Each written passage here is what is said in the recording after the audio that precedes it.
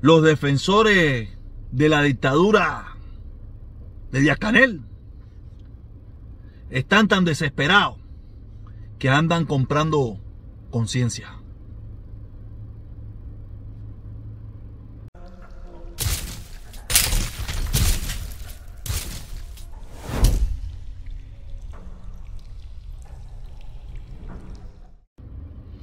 Oye, caballero, qué vuelta, ¿cómo estamos? Hoy es sábado, estoy trabajando, buscando plata, buscando plata porque ustedes saben bien que yo no tengo miedo. Yo no le tengo miedo al trabajo. En primer lugar, no le tengo miedo a nada. Imagínense, mucho menos al trabajo. Y menos en Estados Unidos, donde soy bien remunerado. ¿Ok? Me están pagando mi overtime, tiempo y medio, sabroso. ¿Ok? Nada, hoy vamos a hacer un programa especial. Aquí tengo varias preguntas, varias preguntas que me están haciendo, varias preguntas que la gente me hacen y yo voy a responderle algunos de ellos. ¿Ok? Eh, este que está aquí, este que está aquí, este que está aquí, me pregunta, protesta. Ese es el pueblo indignado que sale a, hacerle, a protestar en contra de esas personas que quieren acabar con el gobierno. Más o menos. Yo estoy parafraseando porque yo en definitiva lo que pongo son palabras clave, son palabras clave solamente para, no voy a leer nada de eso, ¿ok? Eh, yo quiero responderle a este hermano, a este hermano cubano, que si él se piensa y él se cree que esas actividades, esos mítines de repudio, es el pueblo indignado que no le gusta lo que están haciendo las otras personas, dile que te devuelvan tu dinero. En primer lugar, yo sé que eh, eh, él está consciente de que eso no tiene nada que ver con el pueblo indignado, ni nada por el estilo. Esas son las, las personas que el gobierno cubano recluta de una forma u otra para que hagan esas actividades. Porque si ustedes pueden ver, nadie va hasta ahí a impedir que esas personas hagan eso. Usted no ve la policía, es más, usted ve la policía custodiándolo, la policía cuidándolo. ¿Por qué eso mismo no pasa con las otras personas que quieren hacer todo lo contrario? ¿Por qué? Porque no es permitida por la dictadura. Porque no van a hablar bien de la dictadura. O van a tener, o van a ser críticos contra la dictadura. Como estas personas son, son personas, son, valga la redundancia, personas que el gobierno utiliza para que lleven su discurso. Por eso es que son permitidos. Por eso es que se usted puede ver todas esas cosas. Y no, lo, y no, y no eso, eso, mismo, no lo ve del otro lado. Y si lo ve, son cinco segundos. Y a los cinco segundos aparecen las turbas a acabar con aquello. Y en cambio, usted ve que esta gente hacen eh, esas manifestaciones, esos mítines de repudio por horas, por días, y nadie lo molesta. Porque son permitidos, son autorizados, son arropados por el gobierno. ¿Ok? Quiere decir que ya saldé la primera pregunta. Vamos por la segunda pregunta. Dice este que está aquí. Dice, estás en... Ah, este, este señor me dice que, que no sé qué cosa, que, que yo soy un indigno, que si, eh, que si la patria, la soberanía, que si los principios, que yo perdí todas esas cosas, ¿no? Como ustedes pueden ver aquí en el mensaje. Quiero decirle a, a este señor, a este señor, que mi mamá, mi mamá está enferma. Mi mamá está enferma mamá tiene 73 años, tiene problemas de la circulación, tiene problemas de, de Un millón de enfermedades. Un millón de enfermedades tiene mi mamá. ¿Tú crees que a mi mamá le interesa, cómo es que dice? Eh, mm, eh, soberanía, principio y todas esas boberías que, a nadie se las cree, que ya nadie se las cree. Nadie se cree todo eso de principio y soberanía. Entonces, ¿tú crees que a mi mamá le interesa algo eso? Mi mamá lo que le interesa es que poder tener medicina para poder curar su enfermedad. Eso es lo que le interesa a mi mamá. Mientras el gobierno destina millones de dólares para reprimir al pueblo y en vez de comprar medicina o comprar materias primas para que lo hagan, sí, pues el embargo, ya le digo, a mí no me hable más del embargo, el embargo en Cuba se puede eliminar instantáneamente instantáneamente. La soberanía en Cuba es una mentira y un cuento, porque se pasan la vida de rodillas mamándole la pinga al gobierno de los Estados Unidos para que le quite las sanciones y le quite el embargo. Olvídense de Estados Unidos. Cállense en Estados Unidos. Hagan las cosas sin Estados Unidos. Si tanto, si tanto tienen, si tanto creen en soberanía, si tanto creen en patriotismo, si tanto creen en toda esa porquería. Olvídense de Estados Unidos. Hagan todo sin contar con Estados Unidos. Entonces, los primeros mamapingas del gobierno americano, los primeros traidores del pueblo de Cuba, es el gobierno americano que se pasa la vida implorándole al gobierno de los Estados Unidos que le quite no sé qué, las sanciones, el embargo, eso. Olvídense de Estados Unidos. Traten de vivir sin eso. Entonces quiere decir que los primeros que no tienen soberanía, no tienen principio y no tienen dignidad son los que dirigen en Cuba. Los que tienen la dirigencia en Cuba son los primeros indignos. Indignos son ellos. ¿Ok?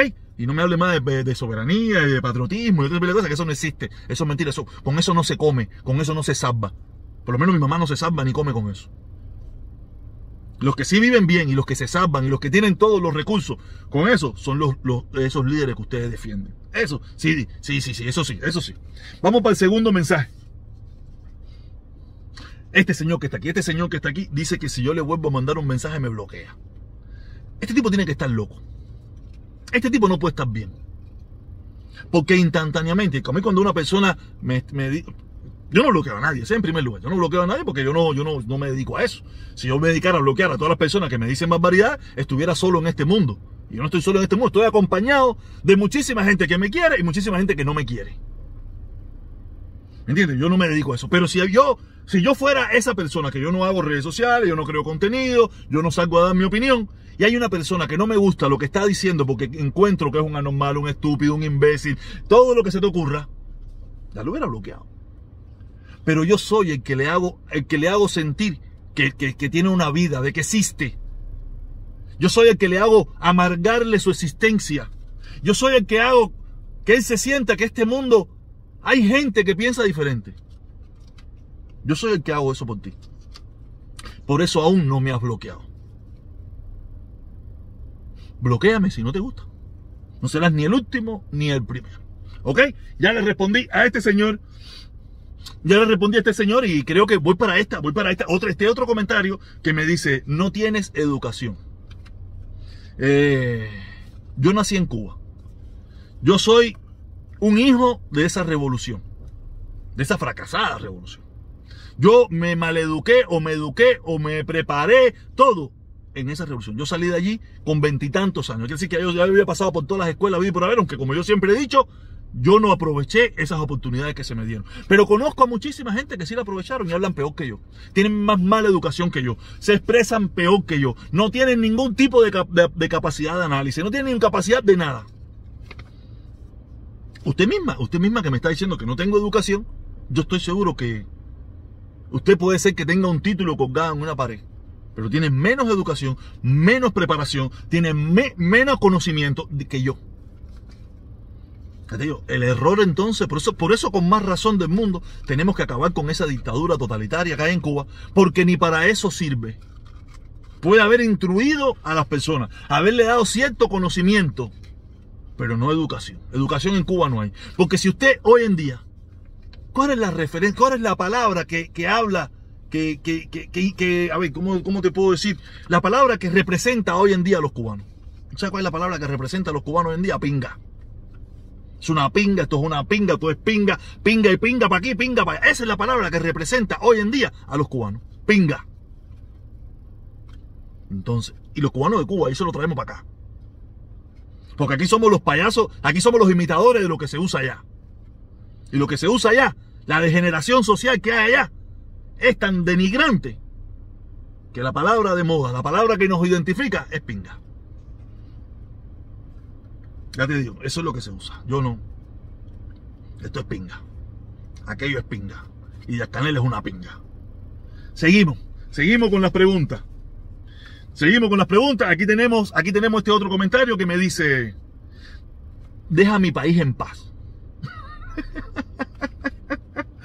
Estas personas están tan equivocados, tan equivocados, ellos están, que ellos piensan que el país es de ellos Ustedes momentáneamente, ustedes no, usted no, usted es la que me escribió, usted, usted no tiene, usted no tiene ningún poder. Usted ahora eh, habla así porque usted hoy en día hasta ahora está ahí en la eso. Pero mañana se te ocurre hablar diferente y tú eres de las que vas a estar del lado acá diciendo ese es mi país también. Eh, Cuba es de todos los cubanos. Lo único que nosotros, muchos de nosotros los cubanos, no tenemos el poder de las armas y la dictadura. Y por eso ellos se sienten con el aval de poder eh, decir quién entra, quién sale, quién es cubano, quién no es cubano, porque tienen las armas. Ellos son muy cobardes, es una realidad. Son muy cobardes y la, historia, la vida, la historia ha demostrado que toda esta gente con poder son muy cobardes. Solamente tienen el poder y por eso se sienten valientes. Valientes somos nosotros que sin ningún tipo de poder, sin ningún tipo de nada, solamente con nuestra, con nuestro, con nuestra boca, con nuestras palabras, nos enfrentamos a dictaduras totalitarias, criminales, asesinas y batistianas.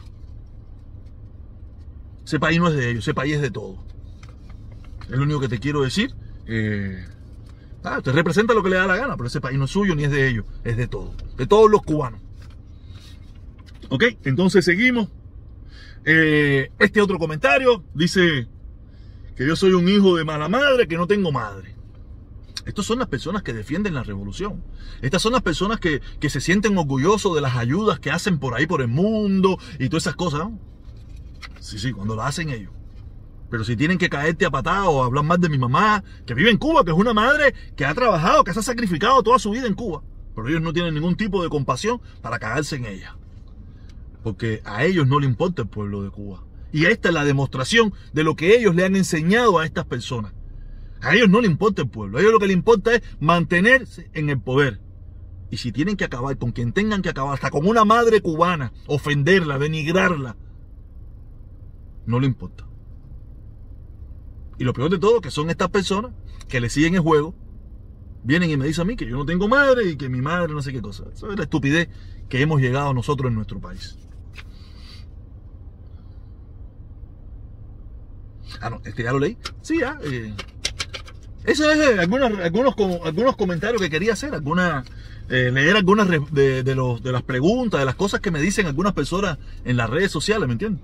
Y nada, yo doy mi opinión, yo doy mi opinión, porque de verdad los cubanos tenemos que, que aprender, tenemos que aprender a lidiar con toda esta situación. Hemos, me he dado cuenta de que hay mucha estupidez, hay mucha, mucha bobería. Pero algo que quería decirle, yo estuve mirando la mayoría de todos estos perfiles que me escribieron en Facebook, en YouTube y en varios lugares. En YouTube no, en Facebook mayormente. Son perfiles que no tienen foto. Son perfiles, todos son de Cuba. Todos dicen ser de Cuba. Pero son perfiles que no tienen fotos de ningún tipo. Por eso me llama mucho la atención que, los perfiles de Cuba no tienen fotos. La gente en Cuba no comparte. La gente en Cuba está nada más pendiente a ver lo que, lo que nosotros decimos aquí en Estados Unidos para ir o a favor o en contra. Pero ellos no comparten nada, no comparten nada de su vida, que es lo que todo el mundo hace en Facebook. Esta gente no comparte nada. Por eso llegué a la conclusión de que todos estos son perfiles creados para la lucha a favor de la revolución. A favor de la revolución, no, a favor de la dictadura. Son perfiles falsos, perfiles que, que, que hay un tipo ahí que es normal, tiene 25, atiende 25 perfiles, tiene 25 comentarios que tiene que poner todos los días, una norma de hacer 500 comentarios, tiene que poner en todas las personas que ellos le ponen, los que están a favor, si están a favor le ponen, oye, tú eres el mejor, tú eres el caballo de tira, como me lo ponían a mí, probablemente esta misma persona. Y ahora, como ya yo no como ya yo no soy favorable para ello, ahora esa misma persona me tiene que poner otros comentarios negativos. Claro, es una persona, un empleado, es un empleado, no es un perfil real. Eso, esa cantidad de perfiles que usted ve en las redes sociales que dicen ser de Cuba, que no tienen foto, que no tienen historial, y tú ves que tienen, el, el canal tiene, el perfil tiene 3, 4, 5 años pero no ponen nada personal. Y son amigos, tú sabes que no es que eh, la foto que son gente privada, no, son gente que están, que aparentemente son mis amigos. No puedo ver, no tienen una foto. Solamente las que cambian en su eh, de presentación de perfil. Es lo único que tienen. Ustedes no engañan a nadie, dictadura. Ustedes no engañan a nadie. Ustedes están jodidos. Nos vemos. Disfrútenlo el fin de semana. Hoy yo estoy trabajando. Tranquilo. Nos vemos.